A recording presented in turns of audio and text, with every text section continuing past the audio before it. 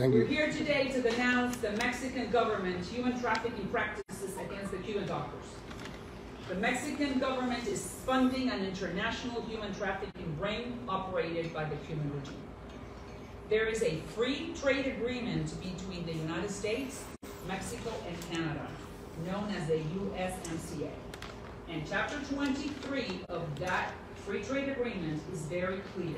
The three partners in it cannot engage in forced labor or in human trafficking. The doctors that are being moved from Havana to Mexico are signing contracts that they do not even know how much they're gonna make. And out of that salary, they only receive five percent.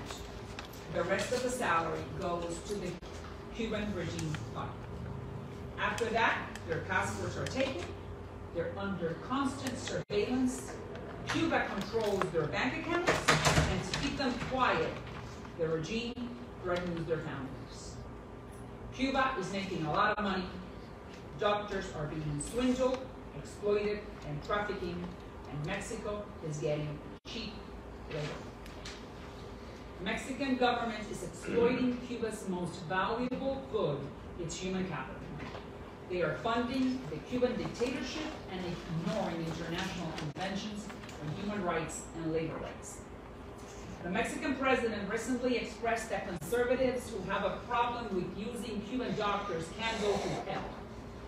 And my answer to President Lopez Obrador is that he will be the only one who's going to go to hell for siding with evil forces, bringing, being an accomplice to human misery, specifically to the Cuban doctors.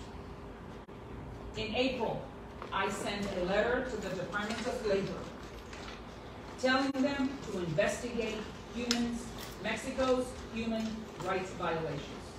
And today I'm denouncing Mexico, Mexico's violations of chapter number 23 of the USMCA, the United States Mexico Canada Agreement, which is the gold standard among trade deals. If you want to deal with the United States, you cannot engage in human trafficking. Period. I am taking,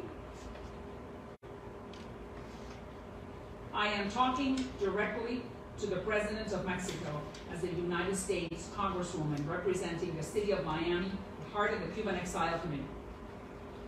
If you keep on trafficking with the Cuban doctors, you are putting at risk your position in the USMCA trade.